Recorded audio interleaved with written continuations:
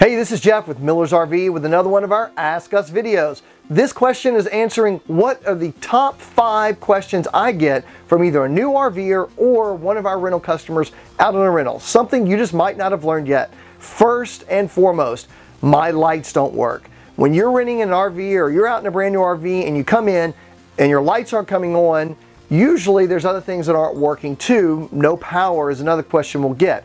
So what happens is your lights your water pump, your furnace, your refrigerator, your air conditioner thermostat are all battery powered in a motorhome. They all work on 12 volt.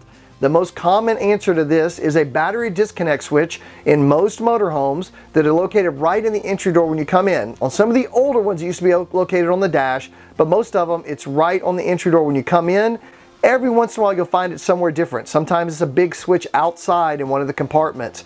But somewhere there's a battery disconnect switch in about 95% of the motorhomes out there. So if somebody has accidentally, somebody usually meaning one of your little kids, has accidentally pressed a button they shouldn't have pressed, that battery disconnect switch will turn off all your 12 volt power to the motorhome. So you'll come in and your lights won't come on. Your generator won't crank, your lights won't work, nothing will work. Always check that first, look for that battery disconnect switch, kick it on, and you will probably have power. That's the most common answer to it. There can be some other things, but give us a call if you have something beyond that, and we'll help you figure that out. Number two, my 110 power won't work, which is usually asked. My air conditioner won't come on, my TV won't come on, my microwave won't come on, or my outlets aren't working. Now, in this case, the most common part this one of two times. If you're plugged in at a campground, you always want to make sure that that circuit breaker at the pole is turned on. In the campgrounds where the 110 plugs in, the 30 amp or 50 amp, there's a circuit breaker somewhere on that pole in almost all the campgrounds. And if that's turned off, and a lot of campgrounds will turn off between visits, if that's turned off, you're not gonna have any power. So check that. Uh, if it's not, if it's on your generator, which is the most common call we get, my generator's running, but I don't have power. Now, the motorhomes are split into two different categories on that. One are units that have an automatic transfer switch. This is the newer and more expensive units, but a lot of even the new units don't have this switch. The way you can tell if the cord where your power cord comes out of the motorhome in that compartment, if there is an actual outlet, it looks just like what you find at the campground. So you can have three prongs if it's a 30 amp or five or four prongs if it's a 50 amp. If there's an outlet in your compartment for your generator to power your motorhome, you've got to plug your extension or your cord coming out of the RV into that outlet.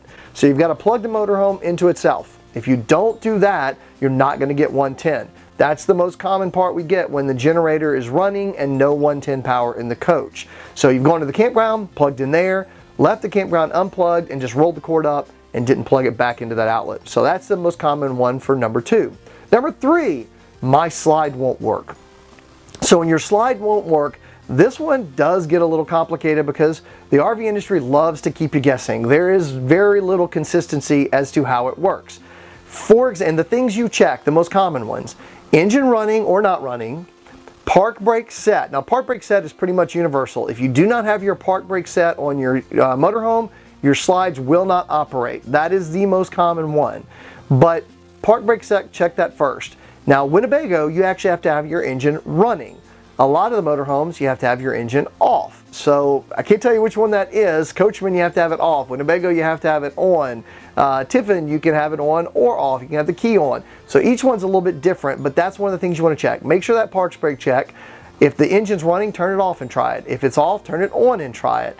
Um, there's one other thing it could be, not very common anymore, but some of the motorhomes used to actually have the hydraulic jacks or the electric jacks down before you could put your slide out. out. So those are the most common things on there. Engine, the park brake set has to be done, and then engine either on or off depending on the brand. Try it one way or the other, and then lastly you can check to make sure jacks are down, but again, not very common. Number four, my awning won't work. So if this is, if you have a manual awning, this is not for you, but most of the motorhomes are coming now with electric awnings. If your electric awning is not gonna work, it goes back to that same key switch. Doesn't usually work with your park brake, but it does work with the key. On most motorhomes out there, almost anyone I've ever come across, if your ignition key is on, your awning is not gonna operate. Now, sometimes it will come in, but it will not go out, which obviously keeps you from being going down, driving down the road and little Johnny sitting there, mash a button, and put your awning out while you're going down the road. It's kind of hard to fit in the lanes. So if your awning will not go out, make sure that you turn your engine off when you start parking the unit. Uh, I bet you didn't in that case. Uh, and then we also have another question we get in there is back to the generator. My generator won't start. Now the generator won't start is when you come in and you go to crank your generator um, and you hit the button.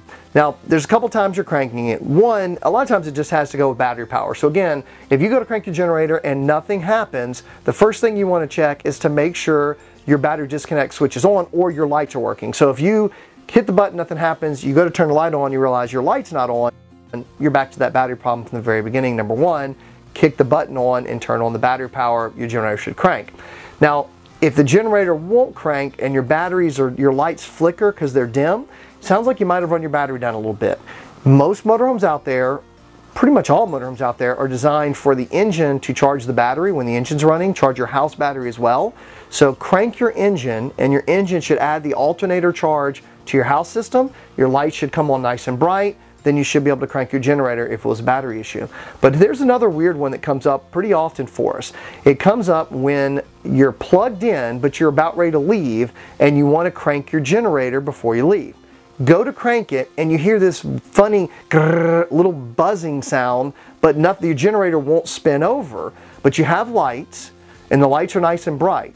Now what happens in non, uh, most non-diesel motorhomes, the big diesel have the big inverter, this does not really happen, but most of the other motorhomes, the Class A's and Class C's, if you have plugged in the coach and then somebody has accidentally hit that battery disconnect switch, you're running off your converter in the motorhome. This provides 12 volt power and for your lights and your refrigerator and your furnace and your water heater, it does plenty but there's not enough amperage in it for you to crank your generator. So when you're trying, it won't work. So before you get really frustrated and call somebody on that, actually just double check, hit that battery disconnect, and then try it. Or you can also check by unplugging the coach, and if you unplug the coach and all the lights go off, your battery disconnect switch is turned on.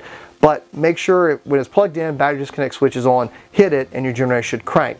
If your generator is spinning over and not firing, the most common thing is you don't have enough fuel in the motorhome. Motorhomes have a safety where below roughly a quarter of a tank, your generator will shut off somewhere below between an eighth and a quarter to keep you from running completely out of fuel and not being able to drive and go get more fuel.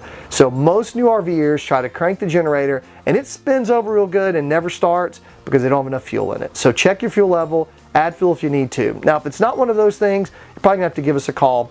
Uh, we'd be glad to help you. Last one, I'm gonna give you a bonus. If your refrigerator, the call we get sometimes is my refrigerator is not cold. Now, most RVs come with a gas absorption refrigerator, and I'm gonna do a video on that one time explaining how that works because it's really crazy. But a gas absorption refrigerator takes about six to eight hours to get cold. So if you've turned your fridge on and it's only been two hours and it's not cold yet, don't worry. Give it six or eight hours and it should be cold. You'll feel it get cold first in the freezer and then the fridge. Um, if you do smell a funny ammonia smell or you see a yellow powder outside the RV, that's trouble. That means you've got a cooling, leak, cooling unit leak and we're going to have to do some repair work for you. This is Jeff Hilliard at Miller's RV with our top five most common questions we get from new RVers and RV renters. We hope this helps you enjoy the journey. Hey, this is Jeff, owner at Miller's RV. Thank you so much for watching this video. Hopefully you found it informative and entertaining. We've got a ton of other videos for you to watch as well. Please comment and like below, subscribe to our other videos, click on one of the other ones, and remember, all of this is to help you enjoy the journey.